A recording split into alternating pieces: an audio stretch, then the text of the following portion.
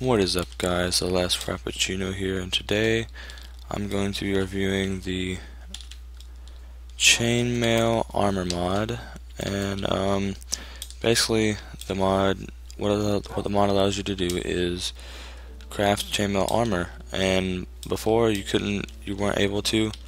You had to find it in the creative menu but um, I'll always put a link in the description for the mod and I will also put what you're going to need in the description. You're going to need WinRAR and you're going to need ModLoader. Um, now let's get into the crafting of this. To make smithing stone is what you're going to need. You need to put four cobblestone and one iron ingot in this fashion into the crafting table and then after you make one smithing stone you put it into the crafting table and it'll make four chain links. Now I don't know why the chain links look like helmets, they just do. Um,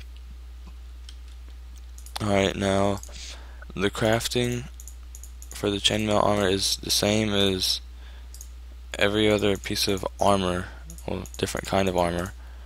Um, and yeah, I thought this was a little cool mod that um, someone made. So, yep. Now if I go here and just put it on, that's what I look like. So, yeah, so um, I'll put the link in the description for the stuff that you need.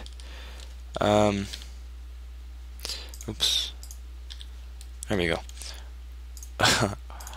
um, I'll put a link in the description for everything, and I'm saying that a lot, sorry.